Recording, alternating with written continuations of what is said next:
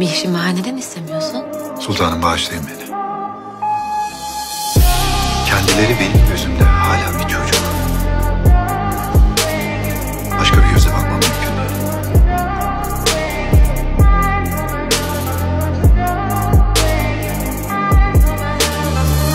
Çocuğa benzer bir halin var mı? Sen nasıl? Tabii ki